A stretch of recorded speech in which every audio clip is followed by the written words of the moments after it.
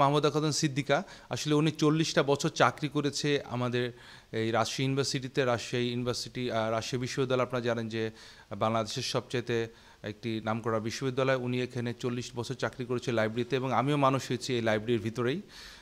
তো উনি এখন অবসরে চলে গেছে আমার মা গত দুই বছর আগে। তো ওনার যে রিটায়ারমেন্টে যে পয়সা পেয়েছে সেই পয়সাটা দিয়ে উনি আমাদের বাসার চারতলার উপরে একটি তার তিনি উনি একটি লাইব্রেরি করেছেন যে লাইব্রেরিতে আমরা এখন অলরেডি অসংখ্য বই পৃথিবীর বিভিন্ন বিরল বই আর কি আমরা আনতে পেরেছি আর কি। তো আজকে আমার মায়ের সাথে আমরা আমি কথা বলব এবং তার ইন্টারভিউ নেব এবং তার কাছে শুনব যে আসলে কি কারণে তার এই লাইব্রেরি করা এবং তার আসলে উদ্দেশ্যটা কি। আম্মু আপনি ভালো আছেন? হ্যাঁ ভালো আছি। আপনি তো আজকে আপনার খুব একটি আনন্দের জায়গায় বসে আছেন। আপনি সারাটা জীবন ধরে চেষ্টা করেছেন এই এরকম একটি জায়গা তৈরি করার জন্য। তা আপনার আপনি কি কারণে এই লাইব্রেরিটা আপনার স্বপ্ন ছিল এবং কেন আপনি এটা করলেন আর কি? আমি আমার যে কর্মক্ষেত্র ছিল সেটা বাংলাদেশের দ্বিতীয় বৃহত্তর লাইব্রেরি ইউ- ইউনিভার্সিটি রাজশাহী বিশ্ববিদ্যালয় এবং রাজশাহী বিশ্ববিদ্যালয়ের কেন্দ্রীয় গ্রন্থাগারে আমি চল্লিশ বছর সেখানে কর্মরত ছিলাম। দু হাজার সতেরো সালে আমি সেখান থেকে অবসরে যাই। তো লাইব্রেরিতে চাকরির আগেও আমার লাইব্রেরি সম্বন্ধে একটু অন্য ধরনের ধারণা ছিল। আমি যখন রবি ঠাকুরের বিচিত্র প্রবন্ধতের লাইব্রেরি নামে একটা প্রবন্ধ আছে ওনার, যখন পড়েছিলাম, তখন আমি কেবল বিয়ে কলেজে পড়ি আর কি। তো ওই সময় থেকে আমার লাইব্রেরির প্রতি একটা অন্য ধরনের ধারণা থাকে। তারপরে আস্তে আস্তে লাইব্রেরি সায়েন্সে যখন সার্টিফিকেট কোর্স করলাম উনিশশো পঁচাত্তর সালে, তখন আর একটু লাইব্রেরি সম্বন্ধে আর একটু বেশি জেনে ফেললাম। তারপরে তো চল্লিশ বছর লাইব্রেরিতে থাকলামই। তখন থেকে আমার একটা স্বপ্ন ছিল যে আমি আমার বাসায় একটা রিটায়ারমেন্টের পরে একটা লাইব্রেরি করব।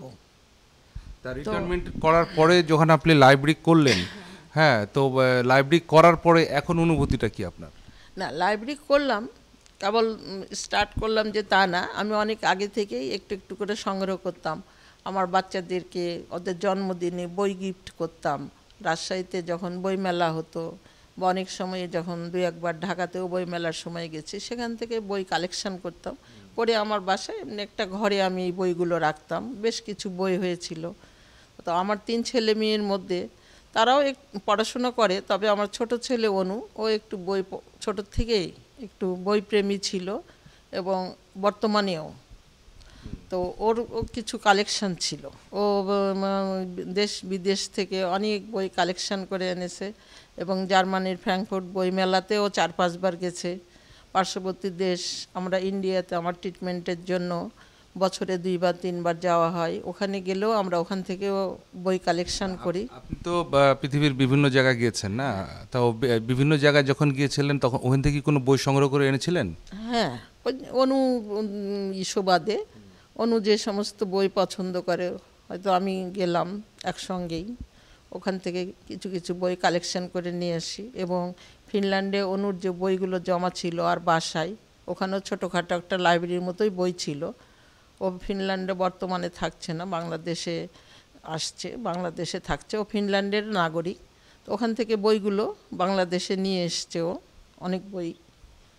আচ্ছা মানুষ তো রিটায়ারমেন্ট করলে যেটা হয় যে বাংলাদেশের আমাদের যে কালচার যে আমরা রিটায়ারমেন্টের টাকা দিয়ে হয়তো আমরা হজে যাচ্ছি, না হলে পরে বাড়ি বানাচ্ছি, না হলে পরে বাচ্চাদেরকে দিচ্ছি ব্যবসা করার জন্য কিংবা ফ্ল্যাট কিনে ফ্ল্যাট কেনার জন্য। কিন্তু আপনি যে এই লাইব্রেরিটা করলেন, এটা আসলে মানে আপনার মনের মনের আশাটা যে পূরণ করলেন, এটার জন্য কি আপনাকে এখন নিজেকে কি মনে কি মনে হচ্ছে যে আপনার আশাটা যে পূরণ হলো আর কি? না, আমার আশাটা কি, মানুষের প্রতিটা মানুষের কিছু না কিছু আশা থাকে বা স্বপ্ন থাকে।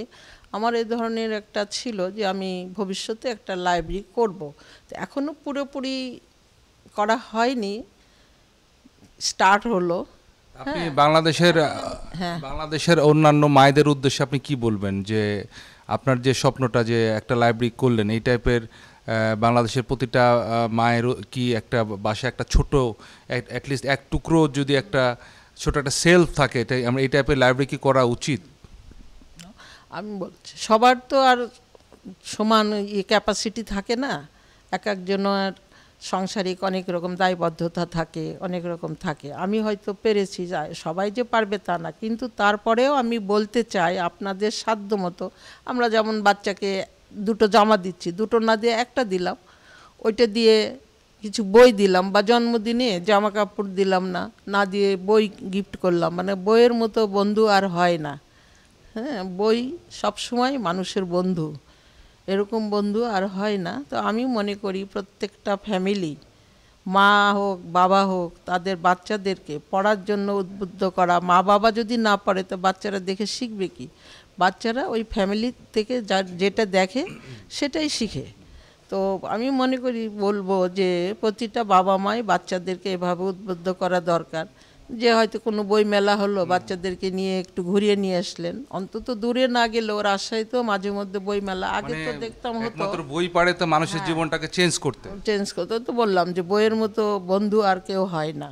আপনাকে অনেক ধন্যবাদ। আমি আশা করব যে আমাদের আপনার এই লাইব্রেরিতে আরও মানুষজন আসবে। একটা সময় আমাদের এই লাইব্রেরিটাতে অনেক রাজশাহীর এবং সারা বাংলাদেশ থেকে মানুষ দেখতে আসবে। বিভিন্ন রেয়ার কারেকশন যেহেতু রয়েছে আমাদের আপনি তো এই বাংলাদেশের মানুষের উদ্দেশ্যে যদি যদি আপনি কিছু বলতেন, কিংবা রাজশাহীর তরুণ তরুণীদের উদ্দেশ্যে যদি কিছু বলতেন না, আমি বলতে চাই এটাই, আমি এটা আসলে পারিবারিক, কিন্তু তারপরে আমি মনে করি যে আমার ছেলে মেয়েদের বন্ধু বান্ধব আছে, আমার আছে পরিচিতজন তারা যদি মনে করে যে এখানে আমার অনেক রেয়ার কালেকশান আছে, সেখানে এসে দেখবে বা পড়াশোনা করবে, আমি এটা এগ্রি করব।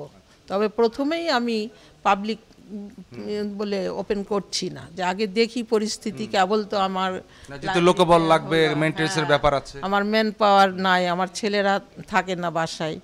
আমি একা থাকি মাঝে মধ্যে আসলে দু চার দিন থাকে এটা তো সম্ভব না।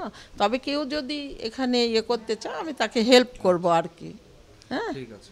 আপনাকে অসংখ্য ধন্যবাদ আমাকে সময় দেওয়ার জন্য। এবং আমি লাস্ট একটা কথা আপনার কাছে জানতে চাচ্ছি যে আসলে এই লাইব্রেরিটা নিয়ে আপনার শেষ স্বপ্নটা কি আসলে?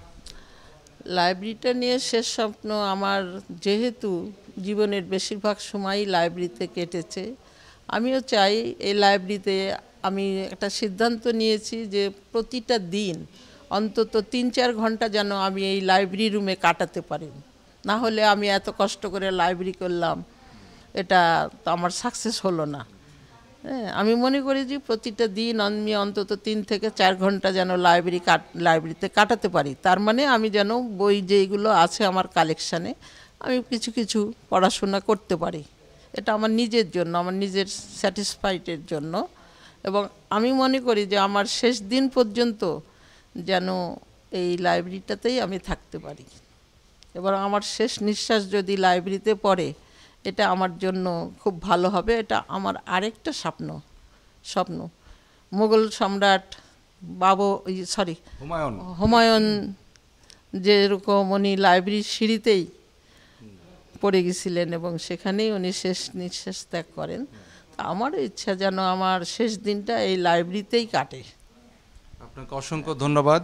আপনারা শুনলেন যে আমার আম্মুর শেষ ইচ্ছা যে তিনি যেন তার শেষ নিঃশ্বাসটা এই তার এই স্বপ্নের লাইব্রেরিতেই যাতে উনি ত্যাগ করতে পারে। তো আমি আশা করব আসলে এত বড় লাইব্রেরি করার মতো আমাদের সবার অ্যাবিলিটি নেই কিংবা সে সামর্থ্য তো নাই, নেই। কিন্তু আমাদের বাসায় একটি সেলফে অ্যাটলিস্ট দশটা কি বারোটা বই রাখার মতো ক্ষমতা কিন্তু আমাদের সবাই সবারই রয়েছে এবং একটা মানুষকে চেঞ্জ করতে হলে একটা বই বই অবশ্যই গুরুত্বপূর্ণ এবং সেই সাথে একটা জাতিকে চেঞ্জ করতে হলো এবং এর পিছন দিকে আমার যত বই দেখছেন, অনেক রাইটার কিন্তু পৃথিবীতে এখন নেই। কিন্তু তাদের এই কর্মগুলো রয়ে গেছে। বই একমাত্র পারে মানুষের মাঝে তাদেরকে মানুষকে বাঁচিয়ে রাখতে। যেমন ঠিক অ্যারিস্টটল আমাদের মাঝে রয়েছে রয়েছে সক্রেটিস, রয়েছে প্লেটো, ম্যাকিয়াভিলি, রয়েছে শেক্সপিয়ার, রবীন্দ্রনাথ, এরকম অসংখ্য সারা পৃথিবীর বড় বড় রাইটাররা আশা করি আপনারা ভালো থাকবেন এবং অনুপ্রাণিত হবেন আমার মায়ের এই লাইব্রেরিটি দেখে। ধন্যবাদ।